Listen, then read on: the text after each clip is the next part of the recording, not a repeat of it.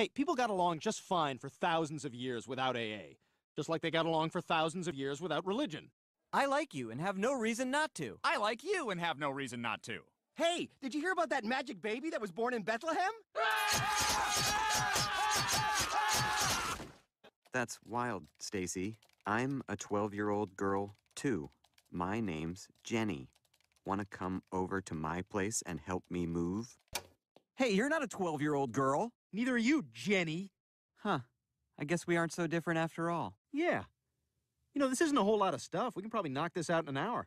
We gotta find out where that party is and get Meg out of there. You're right. God, what happened? It seems like just yesterday she was born. Mr. Griffin, would you like to cut the cord? Sure. Okay, that wasn't the cord, and now you've got a girl. Look at this note I sent off. Dear Pakistan, up yours. Love, India. Let's see what happens.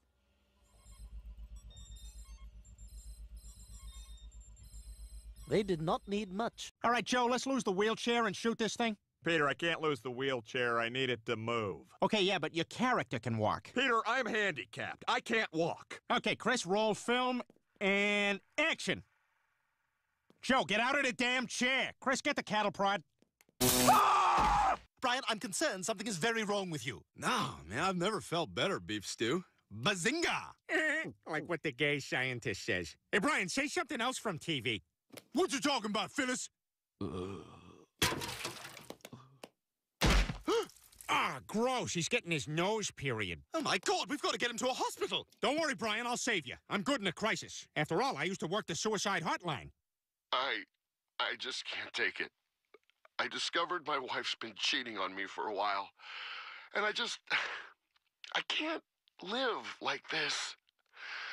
I have to kill myself. Doesn't it make more sense to kill her? Here's what happened when we fertilized an egg from Shelley Duvall with a sperm from James Blunt. Here's Hilary Swank and Gary Busey. Florence Griffith Joyner and Stephen Hawking. Okay, I think that's enough. I got more funny ones. I got Tina Fey and Joaquin Phoenix. Yeah, I think we're fine. A lot of face stuff going on in that one. What an idiot to have been able to rig this rig to that rig. Peter, that's nothing. Oh, is it? I died! I died! At least now no one's forcing us to watch those awful PBS documentaries. And now, PBS presents Albino Children Are Normal. So, with the exception of not being able to go out in the sun, you're completely normal? Yes, the moon is my sun. I like to kill beetles. Beetles are teachers. I sleep with a fork. It's been three weeks and you haven't had a single job lead. Now, that's not true. I came really close with that job at the school. So what makes you want to be a crossing guard? I don't know. I just thought it would be cool to decide which kids do and don't get hit by a car. Stella, I need you to go to Chicago on Thursday. I can't. This week is the Deaf Games.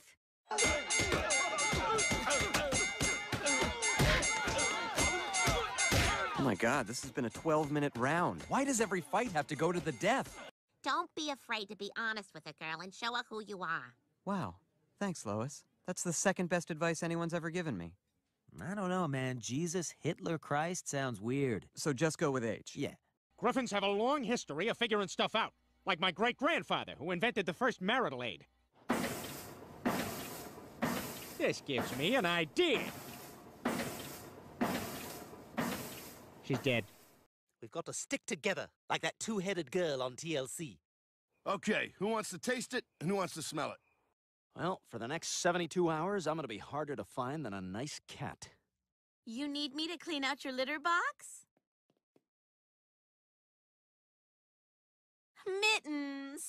That's what all the star athletes do. Ugh, I'm so sick of all the special treatment they get, even during school shootings. Kevlar vest. Kevlar vest. Hold on. Are you a starter? These are for starters only. I'll be a starter next year. Then next year, you can have a vest. This is trespassing and it's against the law. Maybe we should just let the clam go and, I don't know, spend more time with our families. Yeah, I tried that. I just spent most of the time testing Chris to see if he's autistic. Not overly affectionate. Boy, what a great day for a baseball game. Yeah, and these are the best seats in the house for catching home run balls. Oh, that'd be sweet. The only souvenir I ever got was at that stock car race.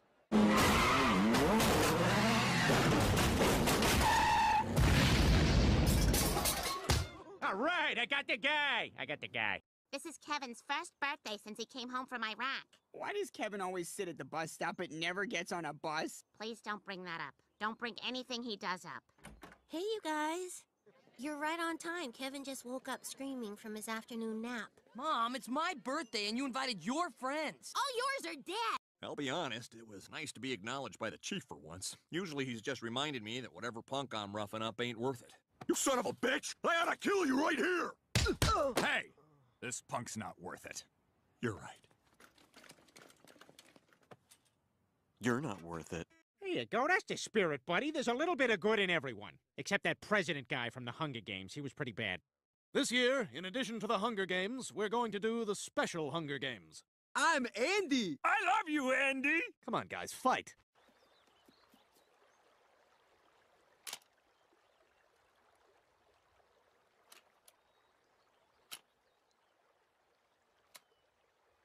Should have taken the shot, fat ass.